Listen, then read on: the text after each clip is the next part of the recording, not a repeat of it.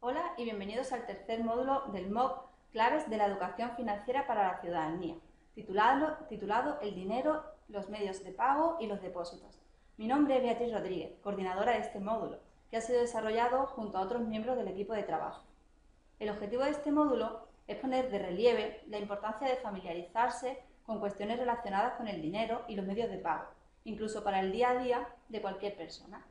Es muy complejo emplear una sola definición de dinero y que sea generalmente aceptada.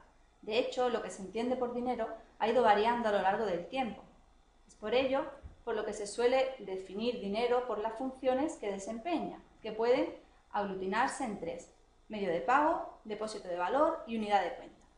Como veremos más adelante, durante mucho tiempo se operó únicamente con dinero en efectivo, compuesto por las monedas y los billetes y se estableció como medio de cobro y pago más aceptado, pero hoy existen otros medios de cobro y pago alternativos, muy utilizados en el mundo comercial.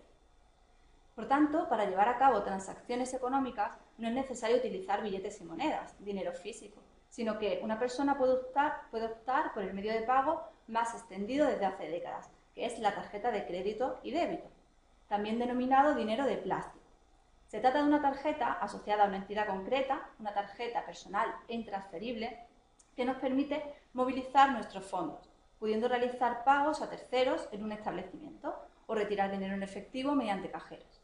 Como los medios de pago distintos del dinero tienen un uso bastante extendido, es preciso conocer las distintas alternativas disponibles para llevar a cabo transacciones económicas.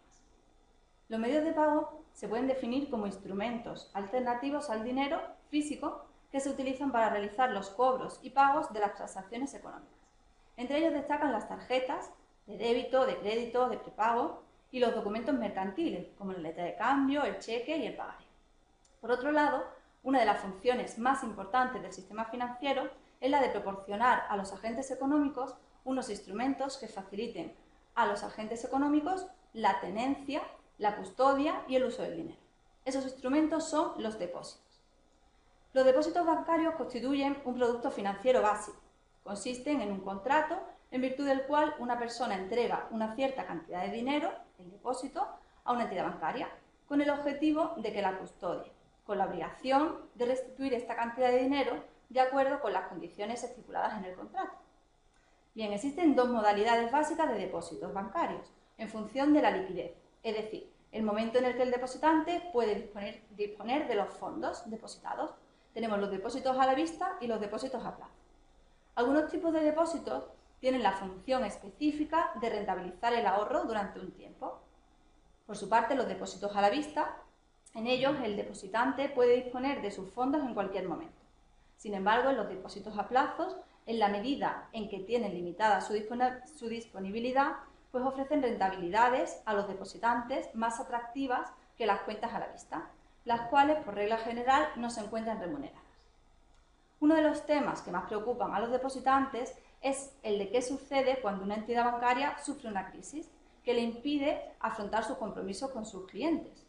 Bien, para atender tales situaciones se han creado los fondos de garantía de depósitos, que son organismos promovidos por los poderes públicos de distintos países a los que se adhieren las entidades bancarias de los países que cuentan con este mecanismo de protección.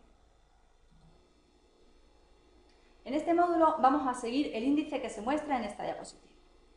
Veremos en primer lugar las funciones y el uso del dinero y en segundo lugar los medios de pago que existen alternativos al dinero, como las tarjetas, dispositivos móviles, operaciones a través de cuentas bancarias o documentos mercantiles. Finalmente nos centraremos en los depósitos, analizaremos su concepto y modalidades, veremos su funcionamiento y para terminar analizaremos su rentabilidad.